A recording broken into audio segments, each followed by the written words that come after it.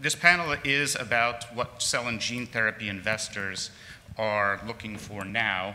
Uh, to accomplish this, the panel, who has, as I mentioned, a wide range of diverse experience, will we're going to tap into that uh, expertise and learn a little bit more of their perspectives about the markets and sort of where the trends are going. We have one hour together, just a couple of housekeeping items. I'm going, we, we met in advance and agreed to sort of break it up into chunks. So we'll start looking back a few years to figure out how we got here. You know, ARM is the uh, world leading disseminator of the industry information on the, uh, on the markets and kind of the adoption, clinical trials progress. So um, we'll definitely use that as a launching and a context setting point and go and move on. To set the mood, though, I'll ask each of the panelists to introduce themselves, talk a little bit about themselves, the companies that they work for, and a little bit about some of their investment highlights. So we'll just take a few minutes there. Um, next, we'll look at some of those things that are happening presently. So, what are the trends? What are the in, uh, areas of interest? And how does the team actually go through, identify, source, uh, and structure deals? And then we'll look into what are some of the context, sorry, what are some of the um, recent news events and regulatory outcomes and uh, discussions. So we'll have a little conversation about that if that's impacting their uh, opinion and their bullishness on the space or not. So then we'll look forward. I was lucky enough over the past couple of days to coerce some of you to ask questions to the panel, so I didn't have to think of them. Um, and so thanks to all of you who uh, let me interrupt your discussions and pull you aside for a moment or two and provide some of that feedback. So procedurally, the final comment, I'll shut up, I promise, uh, is to uh, just say I really would like this to be conversational, so please feel free uh, to reach around the, the, the, film that you're behind and engage each other, follow on to any questions or ask for points of clarification. The more they talk, the less I talk, and that's not a bad thing. So with that, please let's move on, and I will start then with Gbola. Can you give an introduction, please? Hi, uh, I'm Gbola Amusa, Chief Scientific Officer of Chardan uh, and, and a partner. First of all, I'd like to thank ARM for having us here for another great uh, session year after year. Um, so Chardan's a boutique uh, investment bank that focuses on companies with five to 10 times investment return potential. The key is that the companies need to create real value for society and obviously sharing that upside. We've been a top bank uh, globally since 2015 in terms of transactions in the cell and gene therapy space and have helped companies like Moderna and Avexis go public. Uh, we're also known for um, uh, SPACs as well, uh, which we've been doing for about 20 years, uh, including the third ever. And there have been hundreds now, and I think Chardan has done about 10% of all of them in total, including five of the first five uh, biotech SPACs, true biotech SPACs in recent history um, and that's as a sponsor, as an underwriter, uh, or as an advisor.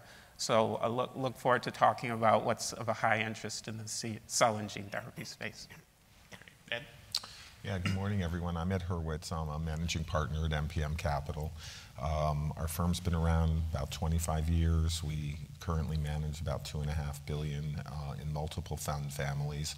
Almost everything we do is biotherapeutics. Um, we're very focused early orientation, seed, um, Series A rounds. Um, we like to, uh, we have a very large footprint in oncology, and then over the last few years, that's morphed into cell therapy and oncology. So a couple of the companies in that space that um, you may have heard of are Elevate, which has uh, really built a distributed business model around expertise in manufacturing at a time, what they put in place about six years ago before the industry started to scale and saw that as a, a, a gap that they could fill and then use that as a means of in-licensing a lot of opportunities. So um, we've done um, a recent investment in Orna Therapeutics, circular RNA, where they're working on in vivo CAR Ts. Um, we're investors in Umoja, which is a, a, cell therapy company that's both working on in vivo CAR Ts and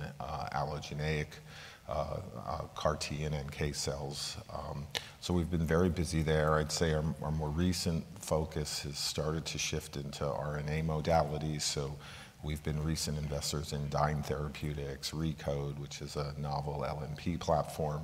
Um, I mentioned Orna, so we continue to push there.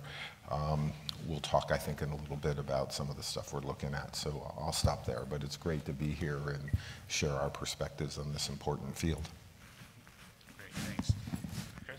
Yeah, Chris Garabedian. I'm CEO of Xontogeny, uh, which provides seed investment and kind of collaborative support um, of early stage biotechs, usually partnering with scientific founders, first time CEO entrepreneurs.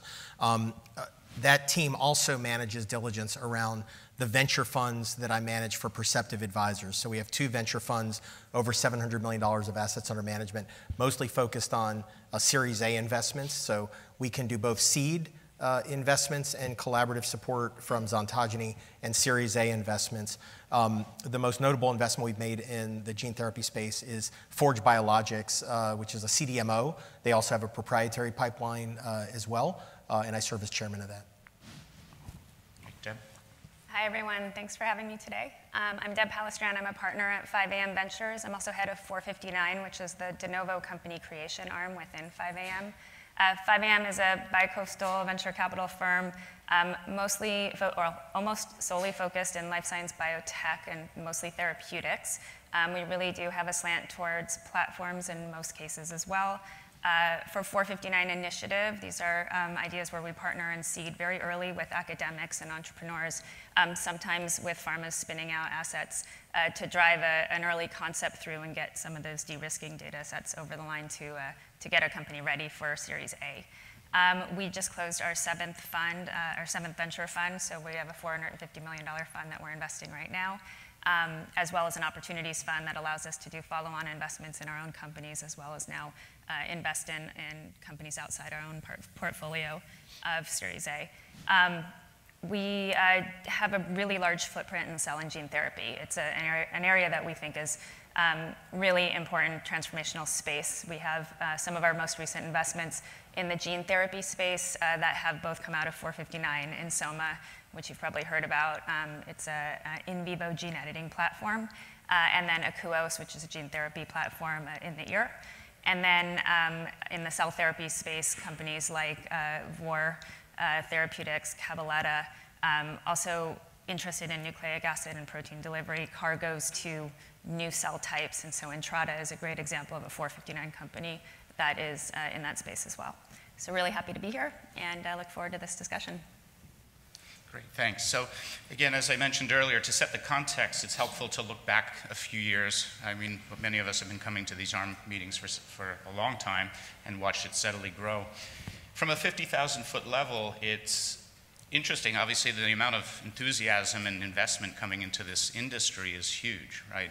But there's been shifts over the last number of years in where people are sourcing, how they're actually uh, leaning into certain technologies.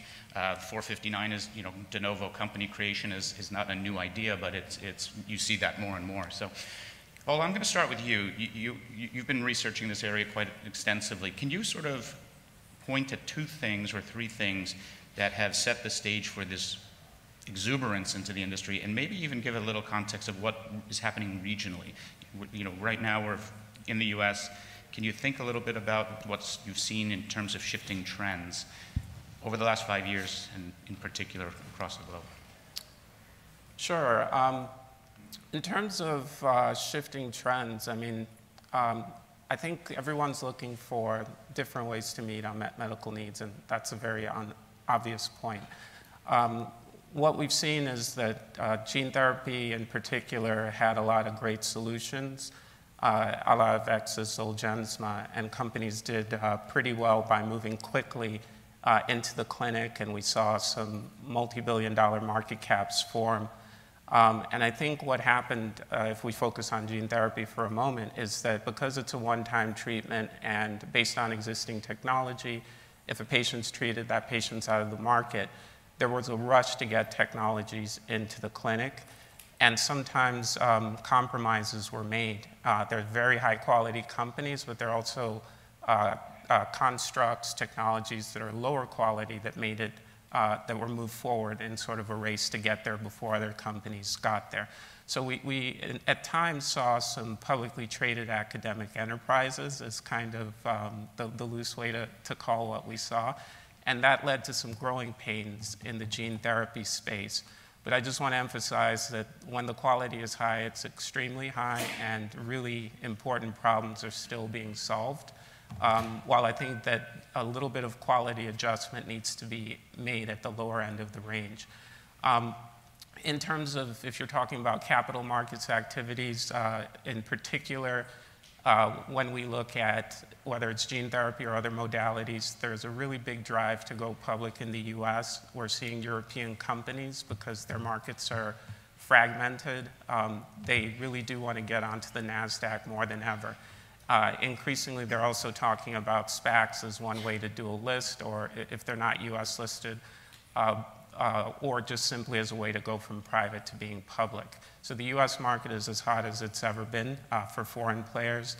Um, if, if, that's what you meant regionally, let me know. Yeah, no, fantastic. Uh, let's jump one and go to Chris. Any thoughts on where the world has come and how we got to where we are today? Yeah, I mean, first thing I would say is that um, clearly this has been the hottest space in the industry uh, over the last five to 10 years. So there's been a, a mad rush and a chase, as Gbola had mentioned, uh, to push these programs forward. But you know, we all know drug development is hard. and gene and cell therapy drug development is really hard.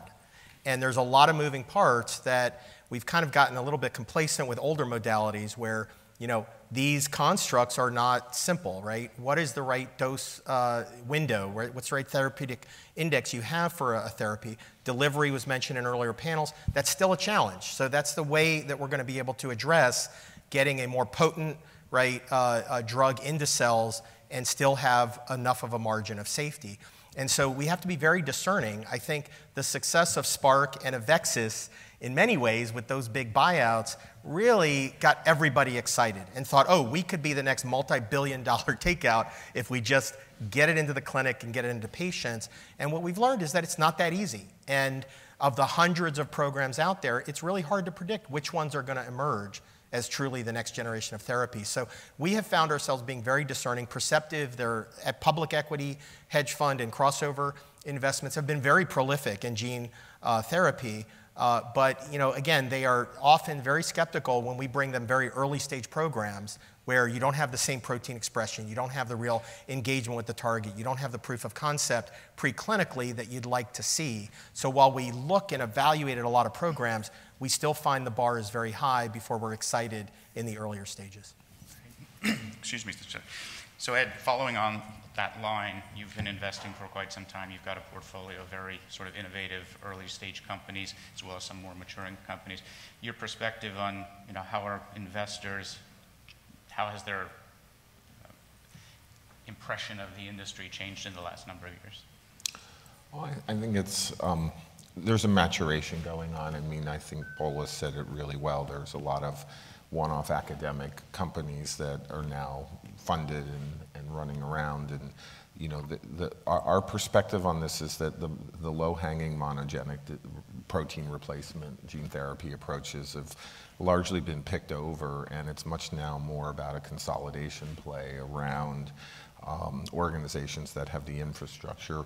When you run the math on most of these small monogenic diseases and you treat a single disease and you cure the population, you have a nice peak revenue and then it tails off. So you really need a pipeline of assets to, I think, stay commercially viable. Um, and so I think that we sort of see at least this first wave um, as really ripe for a lot of consolidation, while the next generation of applications and delivery um, are going to sort of displace or, or, or, come along. And so we're much more focused on sort of solving many of the key problems. You've heard delivery, delivery, delivery, and I can say it five more times, but we're very much focused there. We're very much focused away from viral vectors at this point. Um, I think there's a lot to be done elsewhere. We've done some stuff in, with synthetic viruses. So um, th there's a whole next wave that I, I, think is coming up behind this that uh, will benefit tremendously from some of the experiences. And, and, I know for any of you who are in a company right now trying to get cell manufacturing done or, or vector manufacturing done, if you don't control your own manufacturing plant, you know, you're just sitting around waiting and paying money. So um, I, I, think that infrastructure piece is a, a, a, growing component of how you take control of your destiny on these. And, um, and I think it'll be interesting to sort of watch a little bit back to the original theme of consolidation. Yeah, was, I, I would say for me, the Zolgensma data was the big surprise that I think really transformed the enthusiasm for the industry. The, nobody really knew that that would work or that that would be safe, but the reality is um, it did, and it, it inspired a, a, whole wave, a massive wave of investment. And nothing's ever as easy as the first time through. So we're still getting there on, on these first order. Um, but what you saw were major pharma companies feeling um, the need to embrace this technology, and rather than build it, they've gone out and bought it. And so we've seen a handful now of very lucrative buyouts. And I, am suspicious as to how many more there will be. I think many of the players have made their early moves. And so if you're eighth or ninth or tenth in line, I'm not sure your capabilities are quite as valuable. So we'll have to sort of see how that, that M&A activity plays out. But once you get a product in this space, um, it's pretty clear that there'll be buyers of that technology. So I hope that answers. Yeah, no, that's fantastic. Thank you. Deb, as a scientist investor, can you sort of comment on the level of sophistication? How are you sourcing, you know, associates into your into your firm to actually bring the technical understanding, technical knowledge up? Yeah, I mean, I, I think um, just to echo some of the comments, you know, the the clinical experience over the last several years has been phenomenal, and a lot of the great work kind of addressing the big issues that have been identified are happening at the academic level.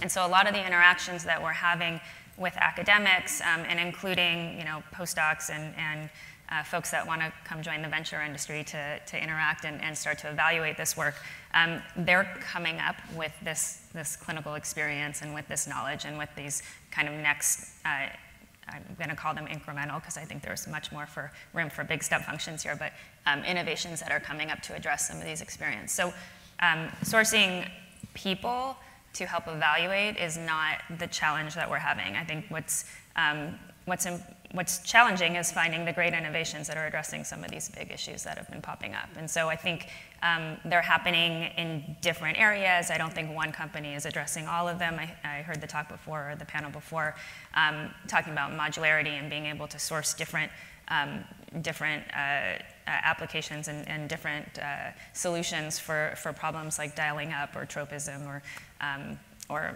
you know, polycistronic expression, et cetera. So I think there's a, a lot of different um, different factors to go access from the academic space, but they're, they're pretty disparate right now. I, you don't see one person kind of solving all of them, nor should they be, because they're big problems and they're, they're, um, there's not going to be one clean answer for all of them.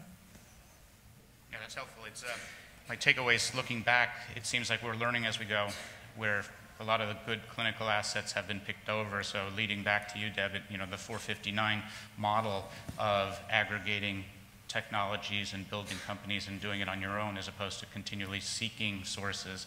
Be curious how that's uh, played out and starting to shift into the present. How are you uh, building yeah. or thinking about that?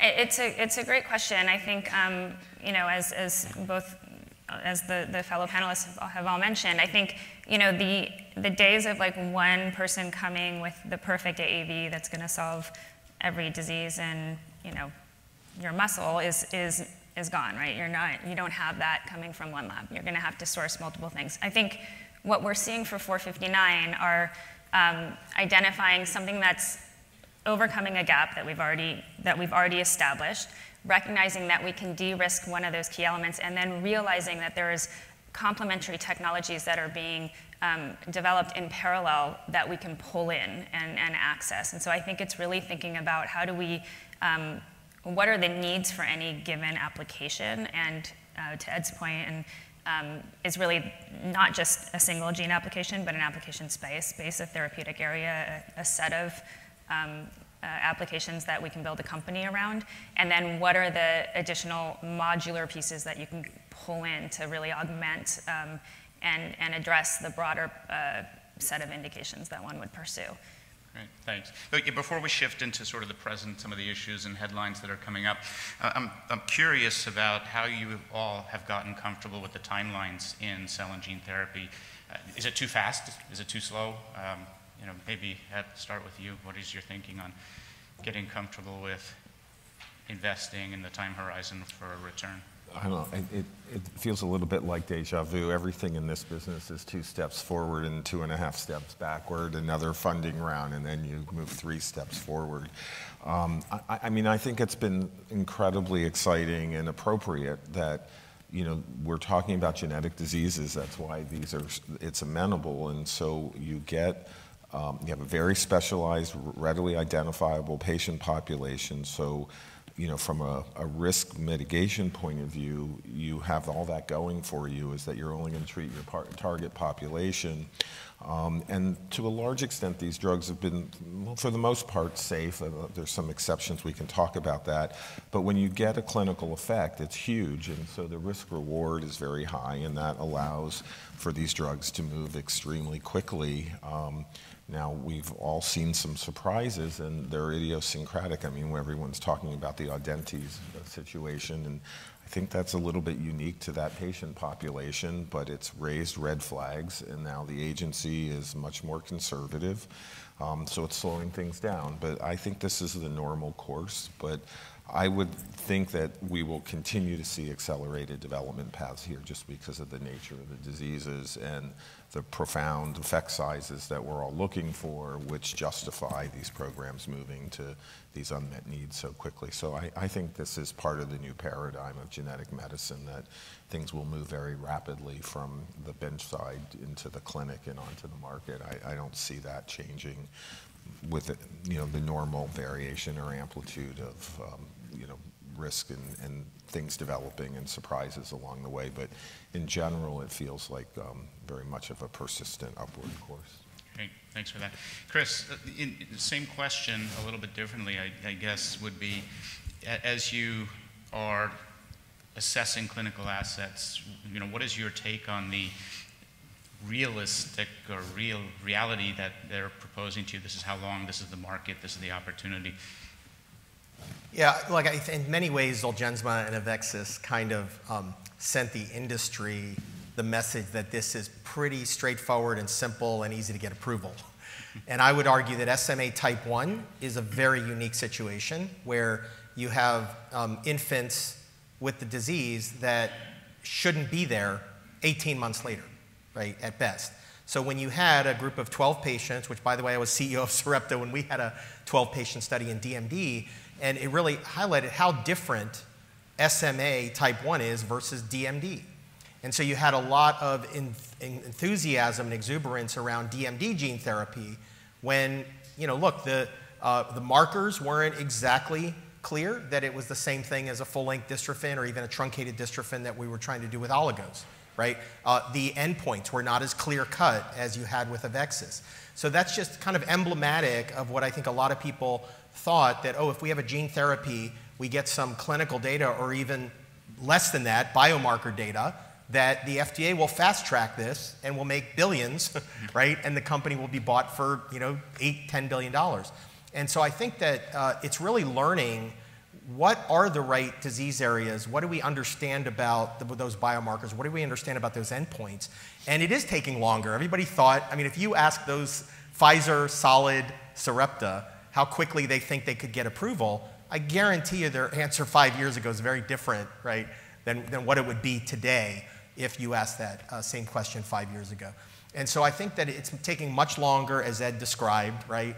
Uh, and I think we have to be very humbled by that, and we have to understand that we have to deliver a necessary data set that is full and complete, and the totality of the data really needs to support a potential uh, investment. But again, I think we, we are not out of the woods yet in terms of safety. We don't have clear technologies, and this is why you see this proliferation of enabling technologies, better capsid engineering, right? How do we get, we saw two deals in the last uh, couple weeks, the Selecta and, uh, uh, you know, figuring out, um, and Voyager, right? Do they have promoters that can potentially avoid, uh, you know, immunogenicity, right? Uh, you know, do we have enabling technologies that can actually improve the chance that these drugs can succeed. And I think you're going to see more of a land grab uh, around those enabling technologies. And we've seen a lot of investment in capsid engineering, uh, some from, from this panel, that are trying to crack that code as opposed to just getting more programs that you can list on your website that are you have a transgene and a construct and you think you're going to own those particular uh, indications. Yeah, it's really interesting. So, for those of you in the room and at home keeping score of where we are in the program, we're just going to shift now to some of the more topical, uh, nascent activities and things going on. Let's let's start with the deployment, raising and deployment of capital. How you know what is the thinking there? And Gbola, I'll start with you because you've been talking a little bit about SPACs, and maybe you could give a perspective on um, how you manage risk and think about raising and deploying. Yeah, absolutely. Um, I think it's always easier to raise capital uh, if there's breakthrough innovation, and there's a hint of that. So, you know, science is very key for us in our decision making. Um, SPACs, uh, you know, have become a very important tool in the market very broadly, and it's just now one of three different options for companies when they go uh, consider going public. It used to be the traditional IPO S1 track versus selling the company uh, to big pharma, for example and a third lever is now to go public via SPACs. Uh, companies find it attractive because of the earnouts that are embedded in SPACs, which sort of reward the innovation that happens. And in fact, one company we helped had 750 million to a billion of earnouts. Um, and if you think about the traditional way of going public, there's three rounds of uh, th- three different compromises that are made there's a crossover to IPO, for example, that's two rounds of dilution, maybe 20, 30% of shares are given up each time. And then you're pricing the IPO at a 25 to 40% discount, right? So it's kind of like um, selling a $100 bill for 60 to $80 and someone resells it for 100 or I mean should you be happy that, that it went up? It, you know, there, there was a discount there that didn't necessarily have to be there. So what I'm getting at is that SPACs are a way to do a one-step approach with investors who price it appropriately, and we're starting to see genetic medicines companies um, also appreciate this technology, including with the recent uh, Amicus deal. Uh, what we've done with our own sponsored SPACs, uh, recently Renovacor was taken public. Um, we just made sure that this is a theme that hopefully is a booming one, cardiovascular, uh, being addressed by genetic medicines. You know, heart is a target tissue for gene therapy. Rocket, for example, had a success there. Tenaya's uh, come onto the market. There's momentum. And let's not forget that heart is the number one killer now as cancer started to go down in terms of year over year mortality. So always focus on the unmet medical need. And, and I'll finish in about 30 seconds. But, you know, heart's number one at 690 some odd deaths last year in the US. I think cancer is just under 600K. Number three is COVID 19 deaths, around 350K. And we saw that BioNTech and, and Moderna were two of the best value creation stories in the history of biotech. Um, and so, again, you, you focus on deaths, unmet medical needs broadly. Those are the right sorts of investments. And there are lots of areas that I think we could talk about. And I'll come back to you for a minute. You mentioned, I think it was you, sorry, I'm, I'm trying to pay attention, but you had mentioned that the competition for assets is, is very robust, right? And that people, therefore, are probably trying to go early build networks and identify some of these assets before, you know, there's 15 people in the line. What is your strategy for targeting, managing the risk, and then investing in those technologies? We, we like to get in early and do the company formation work. So we're, I, I mean, I, I'd say we're we have themes that we have teams of people that are running around talking to the top investigators at you know 20 different universities, attending all these meetings and sort of assembling a database and keeping our entire organization sort of focused on how do we solve a particular problem. And so in, in gene therapy, right, it's cargo capacity. So how do we get larger transgenes and is, is one of the key things we're trying to solve um, delivery, delivery, delivery. Um, I'm a skeptic that we're going to re-engineer the AAV capsid. I've watched too many of these evolution stories slowly deliver marginal vectors. So I, am waiting to be convinced, but there's a lot of really smart people out there. We continue to look at that. Um, there are definitely some approaches where people are um, putting binding, uh, modifying and putting a binder on the AAV that we think has some promise, um, some ways of directing the tropism. Um, so we, we've, we kind of look at these things thematically and then look for um, top tier scientists that have assembled the IP and the know-how and are out in front, and then we try to bring that organ, that and you know that science into, and then with our team of we have um, about 25 executive partners, many of whom have run R&D or, or, functions like that in large pharma, and they come in and take an operating role as part. They, they help with the diligence, but once we make a decision to invest getting these companies off the ground is a lot of work if you have to start from zero and go hire a management team. So our model is to have that management team embedded in our partnership and we bring these people in. They help with the diligence and they raise their hand and say, I want to go spend 80% of my time building this company for the next two years. And we're like, you're hired, um, here's some money, go do it and make it work. Um, so that, that's more our model rather than kind of chasing around and trying to get onto other people's deals in this space where if you're not in the founding round, your the valuations are just, we can't make the venture multiples that our investors are looking for. So are you looking for underlying enabling technologies and then sort of figuring out the indication areas to go after after?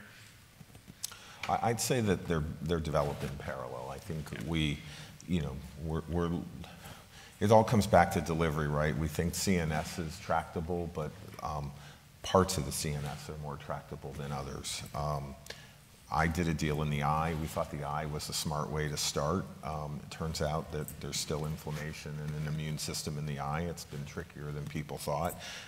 You got to deliver it. You give it subretinally. You don't get to the whole area. So you get some benefit, but it's not as curative as we'd like. I think we've all learned that. Um, so I, I, think regional delivery is important. We're just in our own portfolio getting into the oncolytic, you know, the synthetic virus, um, uh, direct tumor injection, and seeing if we can provoke immune responses and break down tolerance. I think that field is kind of waned, and we're hopeful that this next wave of, of product development will give us some big surprises and enable that.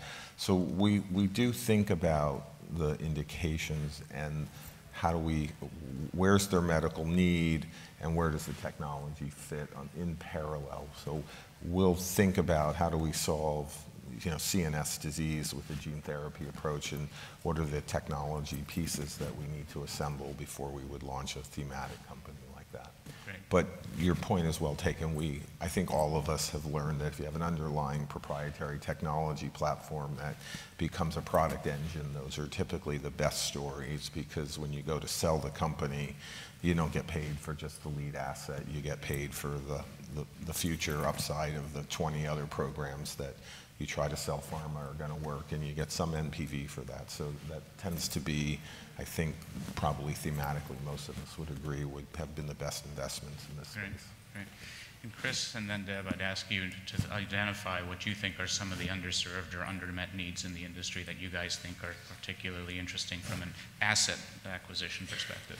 I'd like to hear from Deb, but just one quick comment on this is I, in the last year, and I don't know if uh, Bola and Deb have seen this as well, it has always it's been a seller's market, right?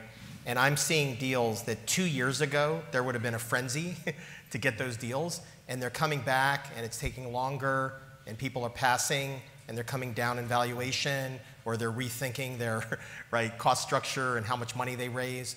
And so I'm not saying it's a buyer's market right now or investor's market, but definitely there has been a shift in the last year to 18 months. Um, and so I think people are getting more discerning and they don't want to be sitting on this big collection of gene therapy programs that are going to run into real challenges.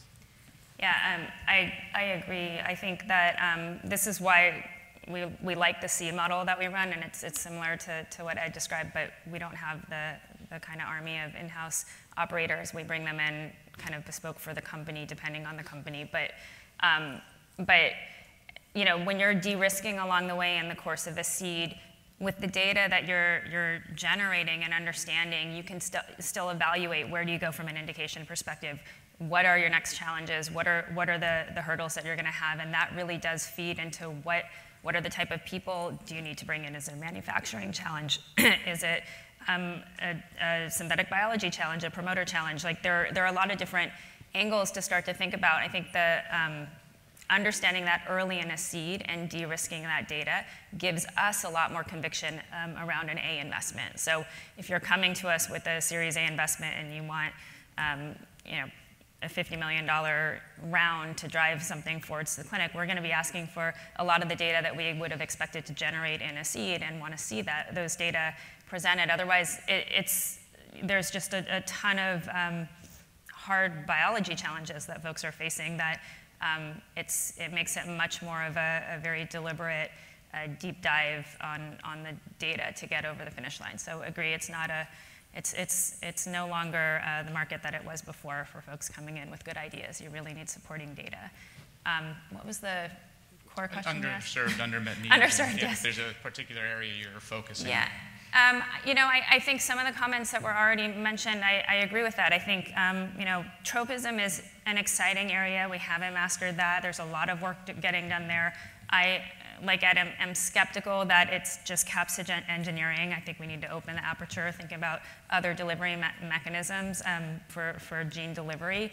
Um, I think understanding what is um, the right uh, sort of tool for the job. The tools, the tools have just exploded. So it's not just gene augmentation. We can think about gene editing. We can think about um, gene regulation with, with promoters or, or regulatory uh, genome modification or, or um, integration there. So integration was a bad word. Uh, but um, but uh, yeah, so I, I think it's also knowing what tools exist for the job and what do you need to see for, for the um, indication that you're looking for? What's, what's the uh, required augmentation of, of the normal gene that you need? And it, is there the right tool for the job? So I think uh, an understanding of that when, you're, when I'm seeing things pitched to me, that's, that's really important because it's not just um, a gene therapy is the right answer for every, every monogenic disease. Sure, so. sure. Changing a little bit thematically to the headlines, the regulatory, all the news that everybody's been talking about. We all know in 1999 Jesse Gelsinger died from the treatment. Took the industry basically out of commission for a number of years. We hear deaths in dentists and other therapeutic areas and other uh, holds and concerns. Why, haven't, why hasn't the industry stopped? I'm happy to take that one. I mean, the beauty of some of the uh, setbacks, let's call them growing pains if you permit me, is that people like Dr. Jim Wilson have been flagging these risks for some time. Uh, so systemic toxicity, he has a two-compartment model. If you go beyond some E14 threshold, you're going to see explosion of safety issues. Lots of people have been saying that, but certain companies have pushed the envelope uh, to support their market caps. Now, what's beautiful about the AV industry is that we've shifted dramatically towards local delivery, which basically gets around that issue. To the extent that companies insist on systemic delivery, um, we know what the threshold is, we know what the line in the sand is, so to speak. We also know that there are ways to improve manufacturing because there are all sorts of residual items and, and let's say less robust manufacturing that could contribute to tox issues.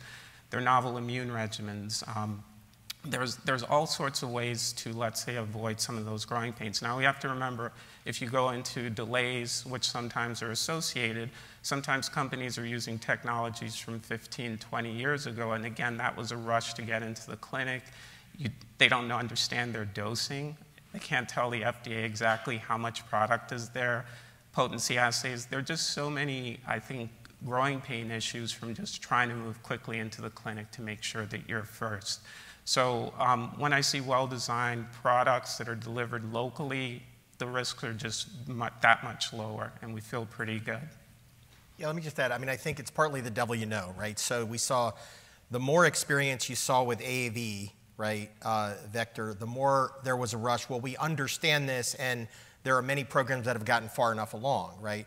We understand the limitations with Lenti, with the adenovirus that Jesse Gelsinger received, uh, but nobody's ready to push those novel, newer delivery uh, methods forward aggressively because we don't know.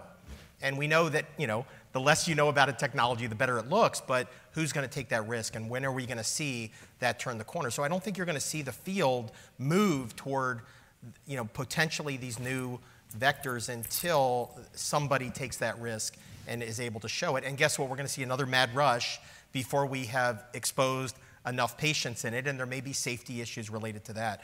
But one other topic that we haven't touched on is um, unlike rare disease, chronic administered drugs like RNA therapeutics, uh, there's a different lens you look at. And Bola alluded to this earlier. The number of patients can also dictate right? How big the market is, whether there's an interest level. So if you think, you know, the traditional BioMarin drugs or Ultragenyx, you know, it was fine to have a few hundred patients that would be chronically administered for life, right, for several hundred thousand dollars a year. I think gene therapy, you're really looking at it through a different lens. It's a little bit of first to market, and it's a little bit of, okay, one and done, right? And that's where I think people are very intrigued with redosing, if you have an attenuation of effect, right? Are there ways that you can start to monetize this beyond?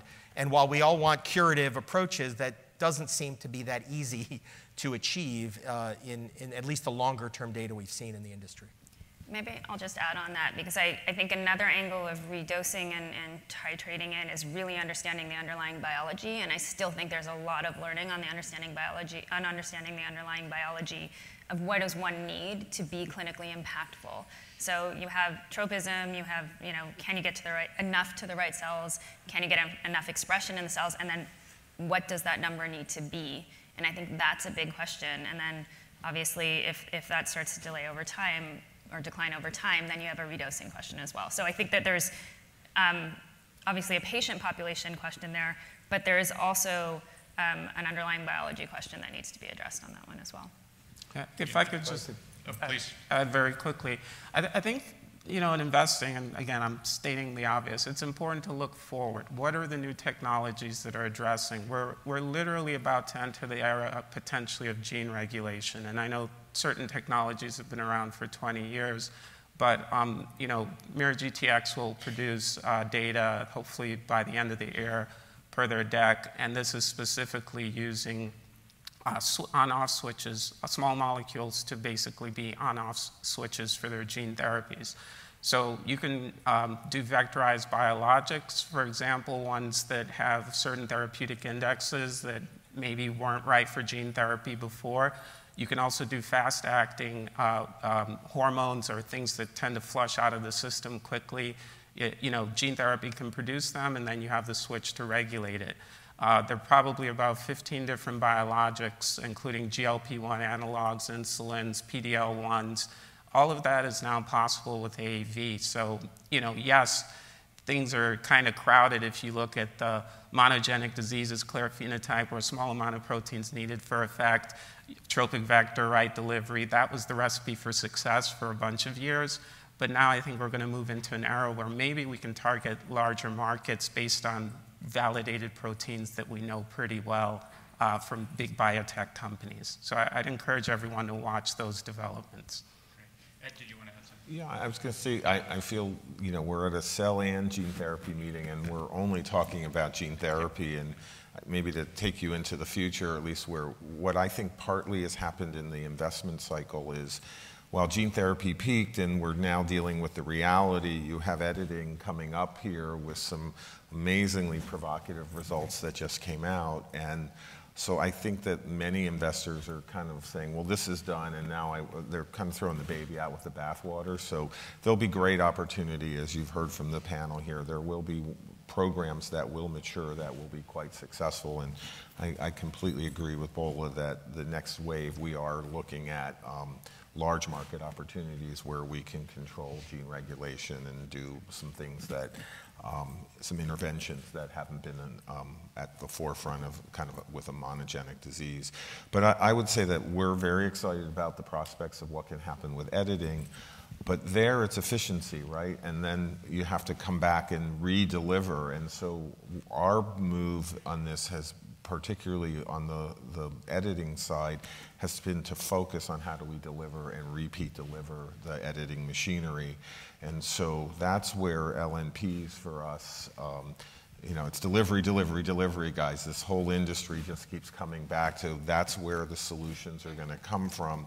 And we think the combination of LNPs with, say, an editing platform right now. So we're in a company called Recode that's recently presented some data that with pulmonary delivery of a fully uh, RNA encoded um, Cas9 with a guide RNA, it's been able to get to bronchial epithelial cells and um, edit the CFTR 508 mutation and confer wild type um, CFTR. And, and even though we're only getting a few percent of transfection with each dose, because we can come back and repeat dose, you build upon that until you reach that therapeutic plateau. And once you get about 10, 12% of the cells transfected, lo and behold, you have chloride transport. And we have now shown that we're more effective than a dose of Orkambi. So I, I would re, I think the, the editing piece with LNPs and repeat dosing is really very quickly going to consume people's imagination here. Um, so we've made a very heavy push in, into to that set of modalities. And then the switches are one thing for safety profiles. We again think that RNA modalities because they're short-lived, um, solve a lot of safety problems. So if you can get the RNA um, into the right organ, and again, that's where new lipid technologies are, are going to play a big role. Um, I, I, think you can really start to, to tackle a lot of these next wave problems, and, and I think that will sort of be the next green set of green shoots, if I had to guess. Well, you rightly took us to task for talking gene therapy, gene therapy, editing, gene therapy, right? So, the other thing we've given some short shrift to is manufacturing and the challenges and capacity uh, that the industry is facing. I'd be curious to get your perspective on if you had a brilliant clinical outcome, but it, you knew it was going to be a nightmare to manufacture, would you, would you lean in? Would you, what would you guide? I'll start with Chris and then Deb. Yeah. Well, Bola mentioned it earlier. I mean, there's a lot of local delivery uh, applications where the manufacturing burden is not as great and is more manageable. I think uh, the, grand dream is that you can go after highly prevalent diseases with systemic therapy that's safe, right? That's where you really start to run into problems with, you know, the manufacturing and the scale and, you know, uh, supply chain and, um, you know, starting materials, et cetera. So I, I think that right now, focusing on rare disease, most of them are clinical stage, right? So the needs for clinical trials is not as great. And everybody's going to figure out we'll, we'll deal with the commercial scale once we know that this is on a path. Uh, and, and, so, you know, so you're seeing a lot of investment in the space. As I mentioned, Forge Biologics, one of those AAV vector GMP facilities. There's a lot of investment, hundreds of millions of going into whether it's Discovery Labs, Resilience, others. Uh, so I think that um, I think the supply will be there honestly, it's the know-how and it's how do you do this efficiently, get better yields, right? How can you, uh, along with the better uh, you know, capsid engineering, how do you make sure that you can have a lower dose burden, which helps us with safety, it also helps us with dose.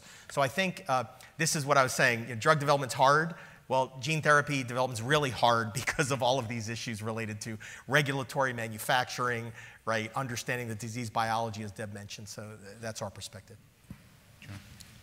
Yeah, I, I agree with everything. I think um, you know it's it's a, a, space where you know the hope and dream is that gene and cell therapy can can really impact a really large patient population, and the, the manufacturing's got to catch up. You're seeing a lot of innovation in the manufacturing space, and so I and and you mentioned them already, some of the, the key players there as well, but also you know other types of innovation happening. So I do think it's an area that we're we're looking at, we're seeing more and more of, um, and in the right opportunities that we we could lean into it. It's it's an important important space that needs to develop a lot to catch up. But you're, you're hoping still that these, these vectors will cross, right? That you're going to be able to impact large patient populations.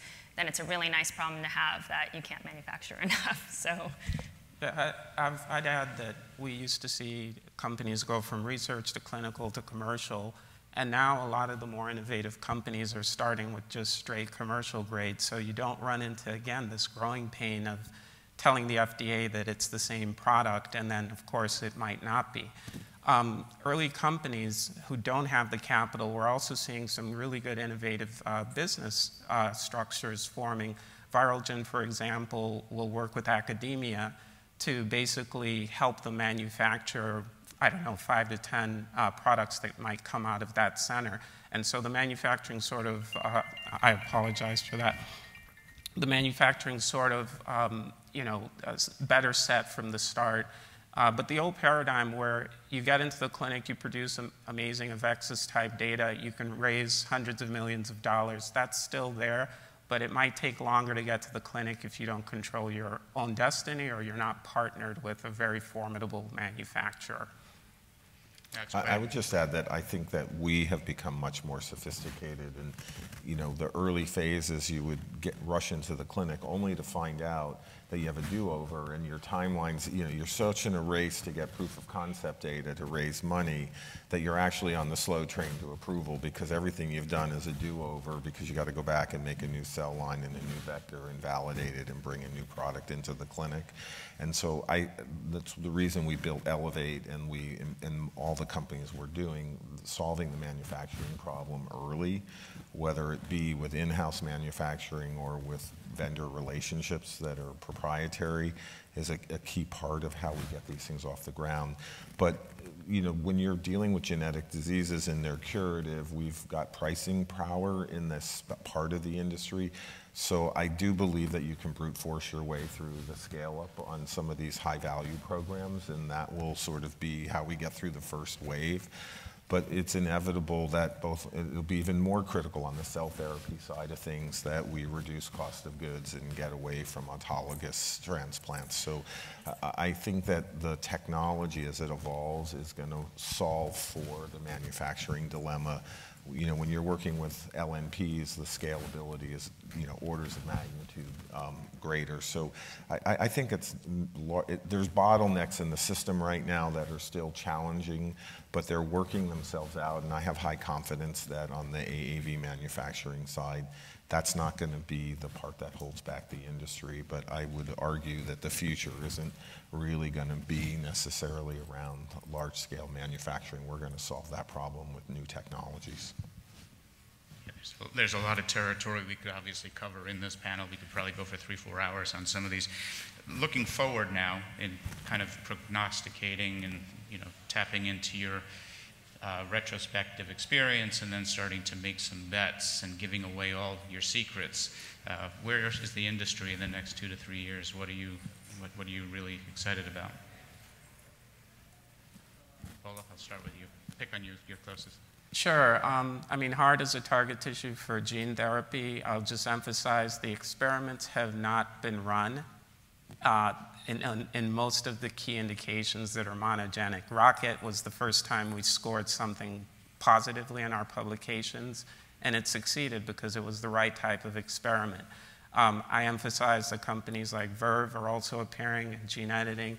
Uh, we're, we're about to hit a very important uh, time point there. I've already mentioned gene regulation. Uh, synthetic biology is more, uh, more broadly is a big theme we've been focused on for years. On top of that, um, I would encourage people to, you know, everyone mentioned delivery, delivery, delivery, but that's true as always in genetic medicines. It's LNP, it's AAV. Um, the question is, can you crack the kidney, for example? You know, anyone who can do that, please let me know. Let anyone on this panel know. you will probably have some good conversations after that. And then, you know, their next big thing, uh, technologies like new vectors and norovirus from Ring, you know, you could potentially dose with AAV, five years later dose with an norovirus. Um, I could go on and on and on, but there's a lot of innovation that's out there, and that's the great thing about capital coming into the cell and gene therapy space. I'll just go down the line, Ed. What are your thoughts? Yeah, I, I previewed it. I, I, mean, I'm super excited by what we're able to do with target with tropic LNPs. This company we have, Recode, has. We'll see if they really crack the code, but they've they've identified LNPs that get to the lung both systemically and through pulmonary delivery, and it opens up a whole new target organ system. And I think editing there um, is, to me, that's what I'm, I'm probably most enthusiastic about is that combination of uh, delivery and then what we're doing on the CAR T side. We've got lipids that um, trope to the spleen and the immune system, and so we're able to create in vivo CAR Ts that only last a few days or a few weeks if you want them, and we can engineer them, we can go back in and redose. So I, I think that's in the next two to three years. Um, that combination of those deliveries and then all these editing approaches. Um, and then, you know, let's not forget RNA editing is sort of in that thrown in there. But there's a, a huge opportunity set of where you could transiently change protein expression or the, what protein gets produced. So I, would say those are the fields that I think are going to boom here in the next few years. Perfect. Chris, what are you bullish on? Yeah. Um, well, first, the delivery issue, I think um, the holy grail would be a synthetic, right, chemistry that can get into cells efficiently with the right genetic uh, information attached. I think non viral vector right? Maybe non LNP delivery vectors. I think that opens up the field significantly. But the, the main point, and, and Bola alluded to this, I, this is a real, you, you, might get an impression that we're, uh, you know, kind of less sanguine about the whole like, gene and cell therapy space. This is an exciting time. There's so much money chasing these problems, right? Uh, the, you know, the, the issue is you have different modalities, different approaches, right? The, the, the gene editing, base editing uh, successes we've seen. Uh, this is the first time that I can recall in the history of the industry that you have multiple modalities going after the same targets, the same disease areas, and it's kind of a, a competition. Who is going to emerge, right? You have novel kind of antibodies approaching certain thing, right? You know, gene and uh, base editing. You've got traditional, you know, gene therapy. You've got oligo RNA technology. So I think this is a really exciting field. The, the, the challenge is you assume everybody's going after the low hanging fruit and that everything behind that is going to be even more difficult. And we haven't even seen that much great success with the low hanging fruit. There's some you know, signals in selected cases of very great promise. So I, I think uh, the next 10 years, I don't want to say the next two years, the next 10 years, I think we're going to see where has this money been deployed, who emerges as the next generation of technologies, and how can that unlock not just the low hanging fruit, but what comes behind that. Yeah, I um, echo a lot of the comments. So I think, you know, next generation vectors, doesn't have to be AAV, um, that can get to particular cell types. Anything that can bring a nucleic or protein to a certain cell type um, with high tropism is game changing. And I think it opens up, you know, there's, there's such a limited uh, set of places we can go to right now and such a broad set of indications that that gene therapies and nucleic acid therapies can impact. It's, it's a place that we need to develop. So delivery broadly is important and really not being tunnel vision, thinking about LNPs, thinking about exosomes, thinking about just next generation delivery modalities. There's no reason why we have so many tools in our toolbox. There's no reason why one delivery modality is the answer to all. I think it's, it's going to be really bespoke to the biology and the, and the therapeutic approach that one is taking. Um, you know, from, from the other angle, I, have heard things, you know, in redosing, I've heard, you know, larger genes, et cetera, tropism, but um, I also want to highlight regu the regulatory genome. We haven't really talked a lot about that, but I think there's a, a, huge place there, and, and you can start to modulate that with things like ASOs and other nucleic acid therapies. So I do think that's an area that um, is also ripe and exciting for um, for expo- exploring things that um, will gene augment in just a different way. So I'm, I'm quite excited about that area as well. Great. We are just almost out of time, so 10 seconds each. Which is going to be your first blockbuster, cell or gene therapy, and when? Go.